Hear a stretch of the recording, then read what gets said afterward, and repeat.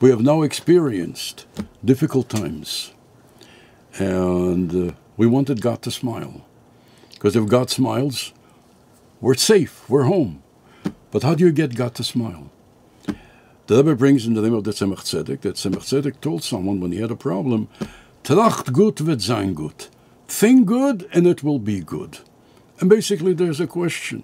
If it's a medical issue, what do you what does it mean think good? Go to a doctor.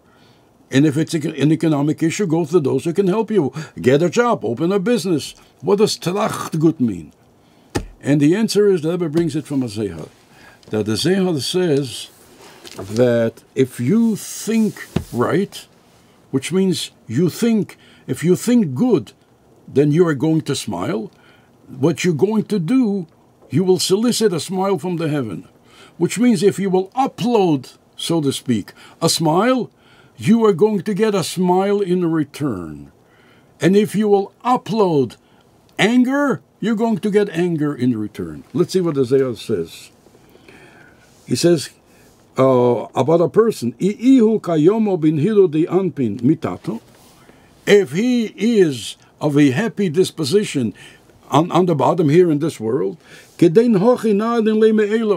the same token, this is what he downloads from above.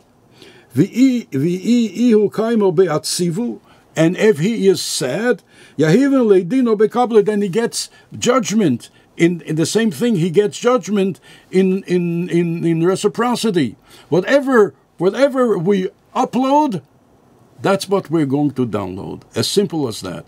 So the Rebbe says, when we need God to smile, what we have to do is start smiling at Him. And what's the expression with Adin Teir? The Rebbe says, Apsak Din. There's a psak din. Was there ever a din about it? The answer is it's a, it's a psak din on God. The psak din on God that says in the Zohar that if we smile, He has to smile back. And we need to smile, and if we are going to smile, He will smile back and give everyone what he needs. Gesundheit and Freudigkeit in everything, in health and in long life and in success in all their endeavors.